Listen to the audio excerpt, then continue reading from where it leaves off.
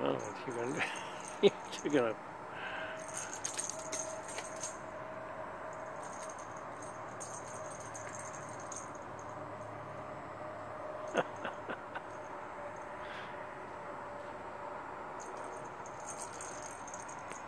I think your sister's not got knocking the ball over underneath there somewhere.